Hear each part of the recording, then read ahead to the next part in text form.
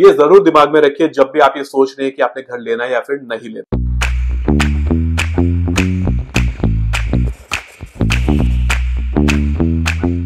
Hello everyone welcome back to my channel Indo Canadian Desi I hope आप सब लोग बहुत बढ़िया होंगे। तो गैस आज के वीडियो में हम बात करेंगे, ये जो बढ़ती रियल एस्टेट मार्केट है कैनेडा में एंड यहाँ पे जो बढ़ता इंटरेस्ट रेट है उससे लोगों को क्या इम्पैक्ट हुआ है। जिससे मैं भी इम्पैक्ट हूँ लास्ट एक साल में। तो मैं अपनी भी स्टोरी आपके साथ शेयर करूँगा मेरी एक रिसेंट परचेज की, जिसमें मेरी मॉर्गेज पेमेंट काफ़ी बढ़ गई पहले कि मैं अपनी स्टोरी में घुसू, मैं आपको समझा देता हूँ कि यहाँ पे किस किस तरह के इंटरेस्ट रेट होते हैं। तो यहाँ पे मेन फ़ेमस है, वो है एक वेरिएबल इंटरेस्ट रेट और एक फिक्स्ड इंटरेस्ट रेट अब फिक्स इंटरेस्ट रेट में क्या होता है? फॉर एग्ज़ाम्पल आपने आज एक लोन लिया थ्री परसेंट और उसे लॉक करा लिया फिक्स इंटरेस्ट रेट पे अगले पाँच साल के लिए।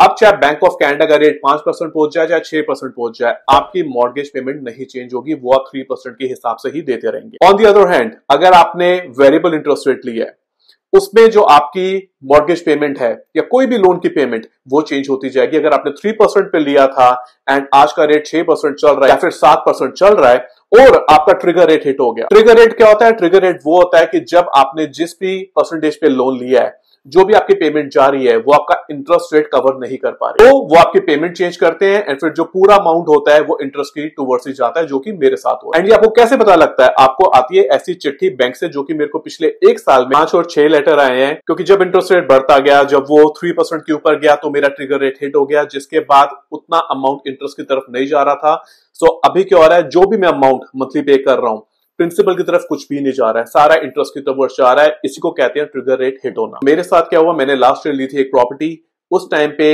वेरिएबल रेट चल रहा था अराउंड 1.92 परसेंट तो मैंने वेरिएबल रेट पे वो प्रॉपर्टी ली थी। फिक्स मुझे 2.2 मिल सकता था बट मैंने नहीं लिया because that was my exit strategy कि अगर मुझे इस डील से बाहर होना है बाद में। भी तो I bought it on variable interest rate and जब ट्रिगर रेट हुआ तो बढ़ते बढ़ते बढ़ते आज जो मेरी मंथली पेमेंट है, उसमें ऑलमोस्ट 400 से 500 डॉलर का इंक्रीज आया है। हिट तो हुआ है बट क्योंकि मेरी ये डील में जो मेरी प्रॉपर्टी है, ये कैश फ्लो पॉजिटिव है तो जो मेरा कैश फ्लो पॉजिटिव है, थोड़ा इंपैक्ट हुआ है। अभी भी I am still positive not that much what I use to be क्योंकि आपका प्रिंसिपल नहीं इकट्ठा हो रहा है इस पे कई रास्ते भी होते हैं जो आप कर सकते हैं। आप अपने लेंडर से बात करके अपनी पेमेंट्स की फ्रीक्वेंसी बढ़ा सकते हैं, या फिर आप प्रिंसिपल की टूवर्ड्स थोड़ी पेमेंट कर सकते हैं, या फिर आप फिक्स रेट पे भी जा सकते हैं। पर जैसे अभी फिक्स रेट तो बहुत ज़्यादा चल रहा है अराउंड सेवन परसेंट और मोर तो उस पर तो मैं अभी नहीं जा रहा हूँ। Looking at the market scenario it might come down again these are all speculation क्या पता एक दो साल या तीन साल में नीचे आता है तो आई एम ओके विद क्योंकि अभी भी मेरी प्रॉपर्टी मेरे को नेगेटिव कैश फ्लो में नहीं गई। अब देखिए, ये भी परचेज पे डिपेंड करता है, तभी मैं क्या whenever you're getting into real estate investing, सोच समझ के कैलकुलेशन देख के अपना इन्वेस्ट करिए।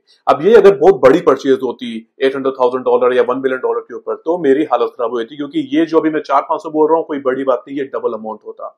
इसलिए सोच समझ के इन्वेस्टमेंट करिए, ताकि अगर इंटरेस्ट रेट वो भी एक कॉन्टीजेंसी है, जो कि अपने माइंड में रखनी है।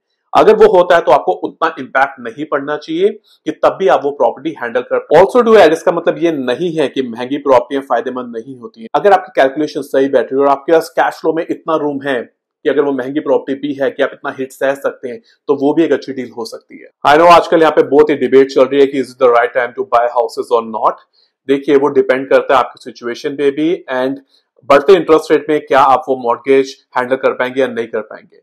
बट मेरी सोच ये कहती है कि परचेज प्राइस अगर आप हाई लेते हैं तो वो परचेज प्राइस आपके पूरी ज़िंदगी रहता है। बट अगर आपका परचेज प्राइस कम है और इंटरेस्ट रेट ज़्यादा है इंटरेस्ट रेट तो कभी ना कभी नीचे आएगा ही आएगा। ये ज़रूर दिमाग में रखिए, जब भी आप ये सोच रहे हैं कि आपने घर लेना है या फिर नहीं लेना। थोड़ा बहुत रिस्क तो देखिए होता ही होता है। इसलिए मैं कहता हूँ कॉन्टीजेंसी का रूम हमेशा रखिए और अपनी एग्जिट स्ट्रेटेजी भी तैयार रखिए कि अगर वो डील आपके लिए फ़ायदेमंद नहीं होती अगर रियल एस्टेट के रिगार्डिंग आपके पास कुछ क्वेश्चन हैं, मुझे कमेंट बॉक्स में नीचे लिखिए या फिर आप मेरे साथ इंस्टाग्राम पे भी कनेक्ट कर सकते हैं। तो बस आज यही कुछ पॉइंट्स है जो आपके साथ शेयर करना चाहता था। That's it for now I be back later with another video for now signing out in the Canadian